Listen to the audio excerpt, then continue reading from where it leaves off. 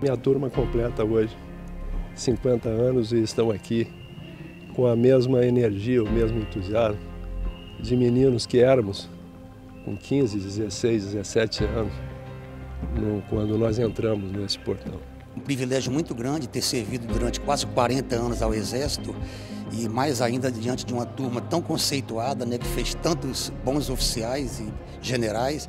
E o nosso destaque, que é o companheiro Eduardo Vilas Boas, que ingressou conosco aqui, fomos juntos aqui, fizemos essa, essa escola juntos, depois a Academia Militar, Estado Maior, todos os cursos, até a Escola Superior de Guerra.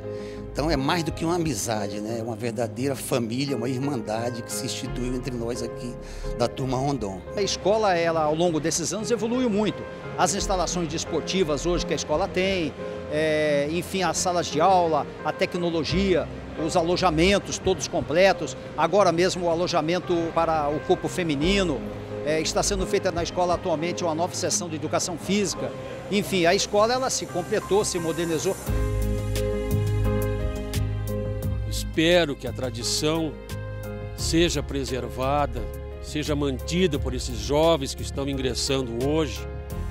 Assim como eu, há 50 anos atrás, humilde, adentrei nessa escola com todo o entusiasmo.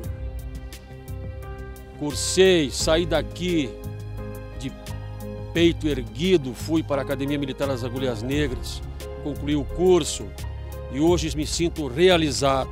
A própria profissão militar é baseada em valores. Então esse é o grande fio da meada que faz com que o Exército tenha essa trajetória retilínea e sempre respeitado um alto índice de confiabilidade perante a nação brasileira.